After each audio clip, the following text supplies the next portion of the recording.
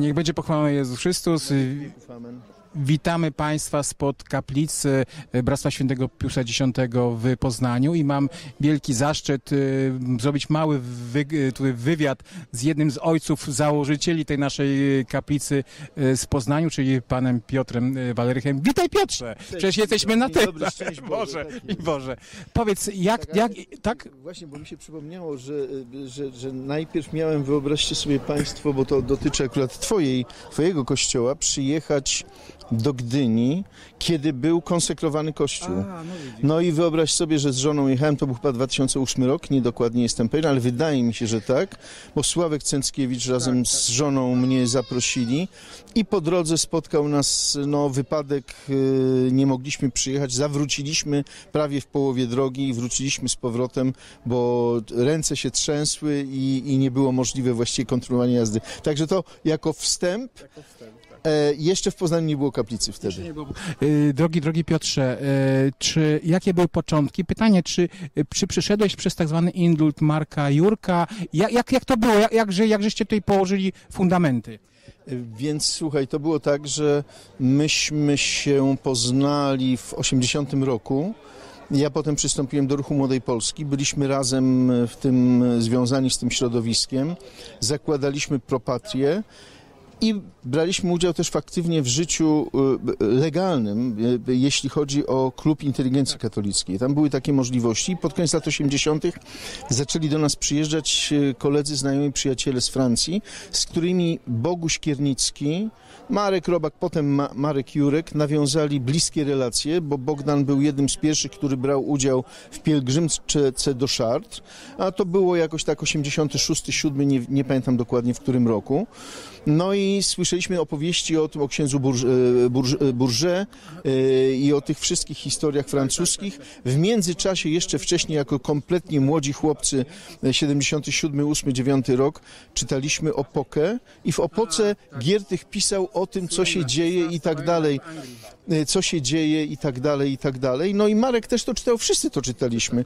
I potem to przejście, czy nawiązanie relacji e, e, pre-bractwowych jeszcze z Francuzami przybliżyło nam ten kierunek. Co więcej, to było jeszcze zanim doszło do rozłamu w bractwie, czyli to było przed 88 rokiem. I pamiętam, jak Marek Jurek nawet mówił, że nasi biskupi, tak? To był taki okres jeszcze i 88, i 9 rok. Myśmy dyskutowali w pociągu. On został posłem, ja później zostałem posłem ale jakoś e, ich e, życie bardziej koncentrowało się na tych, którzy dokonali rozłamu, czyli późniejszym Bractwie Świętego Piotra, dlatego, że to były głównie towarzyskie e, związki. No i jeszcze jedna rzecz, to co jest, co było najtrudniejsze w Polsce, czyli związek jednak emocjonalny, on, po prostu nie uciekniemy od tego, z, z pielgrzymkami, z Janem Pawłem II i tak dalej, i tak dalej. No ale z biegiem czasu, kiedy zaczęliśmy dostrzegać, że indulty są te za zgodą i tak dalej, są bardzo powolne, to znaczy dzieją się albo się nie dzieją, jest zgoda w jednej kaplicy, w drugiej, w trzeciej, w czwartej, albo jej nie ma. No i ja zacząłem czytać już wtedy, no to był jakiś koniec lat 80., początek 90., sporadycznie, zawsze wiernych. Właściwie gdzieś od 90, którego, 5, 6 roku, tak, kiedy się tak. zaczęło pojawiać. Tak, No ty Piotrze wiesz tak, lepiej, ja tak, tego nie tak. dokładnie pamiętam, ale pamiętam jak w Empiku kupowałem, no i y, y, stąd potem znane mi były niektóre wasze nazwiska. Dzisiaj bardzo znany, a, a wtedy tak. nie. No tak, no ale krótko mówiąc, ten nasz związek z mm, tradycją był powierzchowny, jeśli chodzi o Poznań. Dlatego, że to była msza, to była msza sporadyczna, to nas irytowało, znaczy zaczęło mnie coraz bardziej też to denerwować. No i pojawił się że taki mały przeskok, e, e, e, rok 2005-2006, kiedy już PiS wygrał wybory i kiedy ja domyślałem się po swoich rozmowach, że będę współpracował blisko z Komisją Weryfikacyjną do spraw wojskowych służb informacyjnych, co też się stało. E, Poznałem bliżej Sławka Cęckiewicza. Myśmy razem przez prawie półtora roku mieszkali, w tym samym hotelu rządowym zresztą, no prawie drzwi w drzwi, no więc rozmowy nasze na temat y, y, wiary, y, religii, pogłębiania tego, krótko mówiąc, pogłębiania tego, czym tak napra naprawdę jest katolicyzm, wiara i, i, i, i, i tradycja katolicka, no to rozmowy z nim dały mi bardzo dużo, dlatego że od tego zaczęło się moje głębsze analizowanie, czytanie książek i tak dalej. Poza tym, no jego wiedza jednak była zupełnie niebywała. E, znaczy jest do dzisiaj, bo to jest e, człowiek o no, niebywałej zupełnie, że tak powiem, wycinkowej, ale jednak e, pogłębionej bardzo wiedzy. Z, z wielką taką umiejętnością do, do syntezy, która daje ten osta, ostateczny pogląd. I, I, te rozmowy po prostu przekonały mnie w ciągu kilku miesięcy. Pamiętam, byłem u takiej no, spowiedzi, można powiedzieć nie generalnej, no, ale takiej poważnej spowiedzi w listopad, grudzień 2006 roku. E, wracam do domu, do, do Poznania, do Kasi i mówię, Kasiu, nie będziemy chodzili już na nowe msze i nie będziemy tylko patrzyli na kwestie indultowe albo tak, albo siemak, tylko wydaje mi się i zacząłem jej opowiadać o Sławku, o, o rozmowach. Ona chodziła ze mną wcześniej też, no ale zaczęliśmy teraz głębiej jakby w to wnikać. E, no bo mówię nie można, bo nie wypada, bo to jest kwestia nawet nie nie wypada, tylko głębokość tego, czym jest i jakie są różnice powoduje, że nie możemy w tym tkwić dalej. No i oczywiście Katarzyna, która była nieżyjąca już, no widzisz, że no tak. mam dwa lata temu zresztą było, zmarła. Modliliśmy się za, za, za... Właśnie bardzo, bo ona była bardzo, bardzo zżyta z księżmi, z bractwem również. No i podjęliśmy stopniowe rozeznanie, jak mamy y, działać w Poznaniu, Y, żeby móc y, przyciągnąć grono kolegów i tak dalej. Regularny już nie indult, tylko msze, które, które organizował ojciec Maurycy Czechlewski, musi, musi być wam też znany, bo on tam w okolicach Wejherowa kiedyś przebywał, jest franciszkanin. Ojciec Maurycy, tak, tak. Ojciec Maurycy prowadził regularne msze, wtedy jeszcze dostawał zgodę od swoich współbraci w Poznaniu, i tam widziałem, że grono moich dawnych, młodszych kolegów, którzy dzisiaj są tutaj, Justyn Piskorski, Maciej Andrzejczak, y, Piotr Tryjanowski, no i jeszcze paru innych, Kazimierz Świrydowicz. To są ludzie, którzy wtedy, kiedy ja byłem aktywny politycznie, miałem po 30 tam 2-3 lata, no to oni byli, zaczynali stu, być studentami dopiero. No ale uczestniczyli w indultach, a teraz po prostu regularnie w e, mszach u ojca Maurycego. No i zacząłem z nimi w pewnym momencie rozmawiać, pamiętam, czy to był 2008 czy 2009 rok. Regularnie chodziliśmy tylko tam na msze. Czasami zdarzały się gdzieś w Owińskach, jakiś ksiądz przyjeżdżał i tak dalej, mm, e, czy gdzie indziej. I, i Pytałem się ich, słuchajcie, czy wy y, nie obawiacie się, nie lękacie się, bo ja myślę o tym, że trzeba byłoby poważnie pomyśleć o tym, żeby w Poznaniu powstała kaplica bractwa. No i Justyn mówi, nie no, bo to myśmy mieli związek, bo chrzcił dzieci, ojciec, ksiądz Karol, yy, Kaziu Świrydowicz mówi, ależ nie Piotrze, no skąd, nie, nie, nie. Piotrek Trianowski, no, no też nie.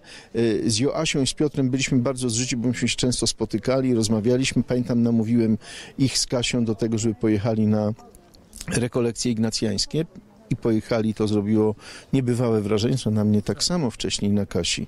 No i te rzeczy, y, i rozmowy z, innymi znajomymi również, z Maćkiem Andrzejczakiem, y, który jest też z tego kręgu studenckiego i korporacyjnego.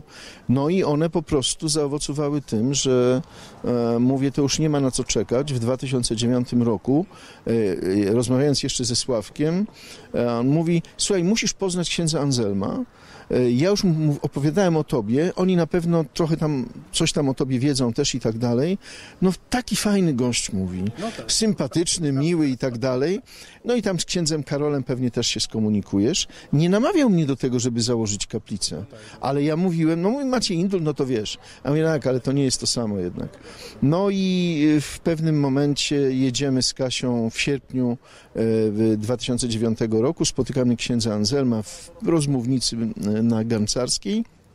Mówimy, kim jesteśmy. A on mówi, a bo on taki entuzjasta oczywiście i tak dalej. E, e, jak to tam i tak dalej. A wiecie co, to jest?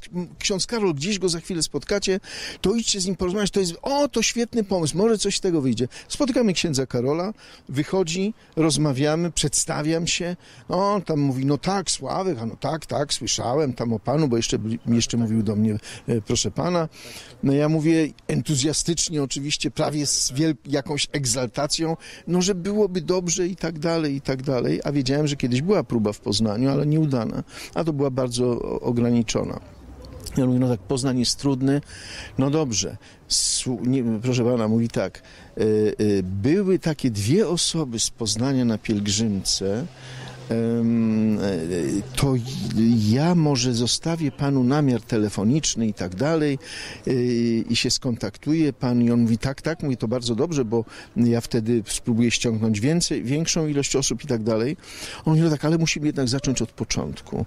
Trzeba zacząć od wykładów, mszy, wykładów, mszy, przygotowania. Ja mówię, no przecież my zrobimy to, co mm, ksiądz, y, y, ksiądz Karol nam każe, no to jest oczywiste. Dał mi te kontakty, ja się skomunikowałem. Oni byli spoza, znaczy nie pochodzili z Poznania, mieszkali od jakiegoś czasu.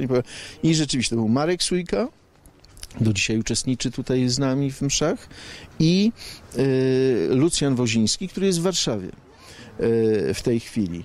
No i razem rozpoczęliśmy taką akcję mm, różnośrodowiskową. Oni wiedzieli, że ja znam więcej osób e, i tak dalej, i tak dalej. Plakaty, e, komunikacja, spotkania e, w grupie i tak dalej. No to jedziemy, no to działamy, no to robimy. Plakaty, pierwsze spotkanie, ksiądz Karol przyjeżdża w okolicach Starego Rynku. A potem mówi nam po jakimś czasie, no to wiecie co, mam dla was dobrego kandydata na przeora. I kto był tym dobrym kandydatem na przeora? Jest w tej chwili w Johannesburgu. Ksiądz y, John, ksiądz Jan. No, to był kompan. U nas dużo profesorów i tak A, dalej, tak, więc tak, on tak, tak. zachwycony, a sam właściwie doktorant, pra, pra, praktycznie niedokończony, znakomity, ten perspektywiczny naukowiec. Nic się tu świetnie wpasował, mimo swojego, no powiedzmy, pewnego ekscentryzmu, jakbyśmy to mogli określić, ale pozytywnie. No i żeśmy się bardzo zżyli wszyscy razem. No i trzy lata był tutaj y, z nami razem przeorem. Najpierw kaplicę znaleźliśmy na Chwaliszewie. Y, No znaliśmy rzeczywiście, bo to wszyscy braliśmy w tym udział, a później po kilku latach znaleźliśmy to miejsce, a teraz już jest naszą własnością. No i rozwijało się, że tak powiem, krok po kroku. Z 50 osób zrobiło się 80, potem 100. No wiesz, pewnie podobnie było w Gdyni czy gdzie indziej. Ten progres był nie taki wielki, ale był. Oczywiście entuzjasta ksiądz Karol, e, ksiądz Jan myślał, że to pewnie za rok już będzie 200, 300 może i tak dalej. No to trochę tam się tonowało to, żeby to, że to tak nie jest ten. No ale przyrastało, szczególnie młodych ludzi i tak dalej. I szczególnie to zresztą widoczne w całej Polsce po pontyfikacie y, y, obecnego papieża, czy w trakcie, a szczególnie gwałtownie to ruszyło po, y, w okresie covidowym, no przed covidowym już teraz, ale covidowym, po covidowym i tak dalej. I teraz to już jest tak, że no mamy, tak jak u was pewnie kilka mszy, w przyszłym roku tu już będą mieszkali księża, mamy pikniki, bo to też było, pamiętajcie, że zanim były takie integracyjne pikniki w całej Polsce, to musimy się pochwalić z Lucjanem i tam z kolegami, wymyśliliśmy, wymyśliliśmy od razu pikniki w Wielkopolsce w różnych miejscach regularnie. I potem to się zaczęło, jakoś tak przekonaliśmy innych. Zresztą zapraszaliśmy e, z osoby z Polski również i tak dalej. No i ta integracja, przyjeżdżanie rodzin z rodzinami, znajomymi i tak dalej, miła atmosfera, gra na gitarze, jakieś tam, my jesteśmy winni ludzie, więc pi, popijaliśmy też wina. Każde spotkanie by, by, by, bractwowe przeradzało się w m, dobre smakowanie rozmaitych win, a wieczorem do dłuższego jeszcze e, konsumowania i tak dalej. No i tak z biegiem czasu zapraszaliśmy różnych ludzi na spotkania e, trochę naukowego, trochę takiego. Piotrek o ptakach mówił, no Tryjanowski jest wy, wybitnym i ornitologiem i tak dalej, i biologiem. E, profesor Karol Kacprzak mówił w ubiegłym roku, znaczy w tym roku jeszcze o biologii i chemii miłości, tak to nazwał. E, rok temu zaprosiłem, był e, Paweł e, Lisicki. Niezwykle ciekawe spotkanie było. No i tak z roku na rok, no głównie w tej chwili organizatorem tego jest Tomasz Stankiewicz. Jest w tej chwili razem z żoną i, i, i, i wielorakim, że tak powiem, dziecięcym orszakiem organizatorem i odpowiedzialnym za organizowanie tych naszych pikników w różnych miejscach. No i tu w tym względzie jesteśmy optymistami, bo tutaj też trzeba powiedzieć tak, e, e, staramy się nie spierać i nie kłócić, No o, nie o sprawy Najważniejsze. fundamentalne, bo o to się nie kłócimy. Ale u nas są osoby, które, y, które mają poglądy, że tak powiem, wszyscy prawicowe, ale jedni z różnych względów głosują na Prawo i Sprawiedliwość, drudzy na Konfederację, a jeszcze inni są jeszcze bardziej zdegustowani. No tak.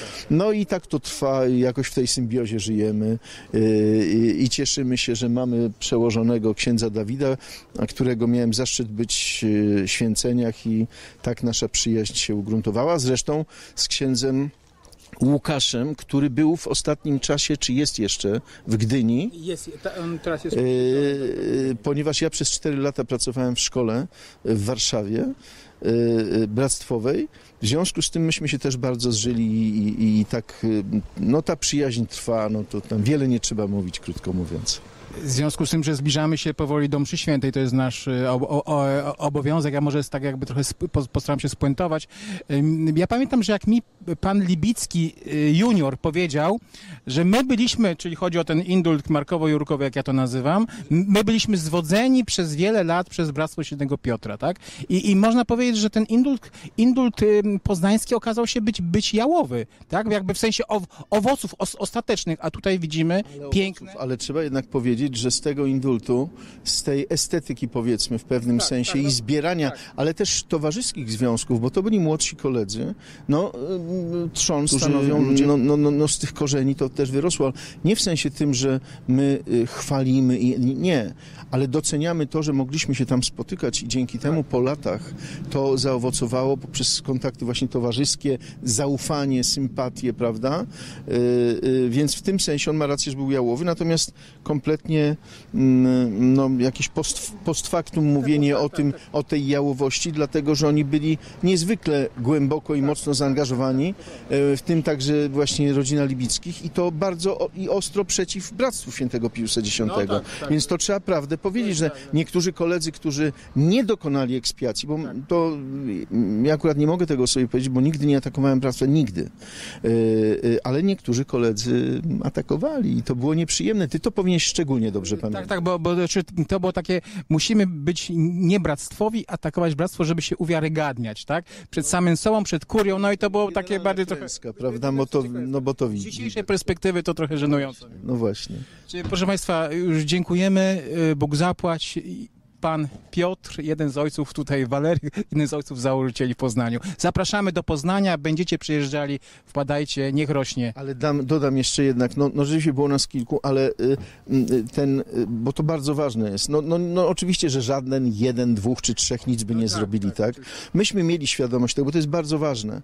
Myśmy mieli świadomość tego, że jest jakiś palec Boży w tym, tak? I y, m, gdzieś w pewnym momencie trzeba było odejść. Młodsi przyszli, ale nie dlatego, że ten, tylko sprawniej byli, lepiej przygotowani do pewnych rzeczy. Każdy oddaje miejsce i nikt tu nie ma pretensji jakieś pierwszeństwo czy coś takiego. I to jest fantastyczne, naprawdę. To no, dzięki tutaj mm, wsparciu, łasce, no też dobremu hum- humorowi, bo my lubimy sobie pożartować i powygłupiać się, chociaż e, ze smutkiem muszę powiedzieć, że no, brakuje mi mojej ukochanej żony, która była zawsze przy mnie i która też e, ogromny wkład miała w to, żeby bractwo tutaj w Poznaniu powstało, bo przez pierwszy rok na, no, wszyscy właściwie księża przyjeżdżali do nas do Dogmat świętych obcowanie daje nam, nam nadzieję, Kasia jest z nami, modlimy się za nią. Bóg zapłać dzięk- i dziękujemy. Bóg zapłać, Bóg zapłać. Dzięki. Z Panem Bogiem. Panem Wszystkiego Bogiem. dobrego.